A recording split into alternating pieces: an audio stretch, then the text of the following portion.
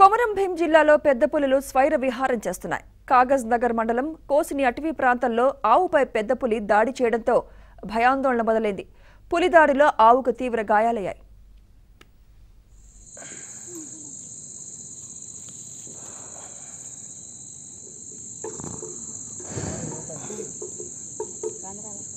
గాయాలయ్యాయి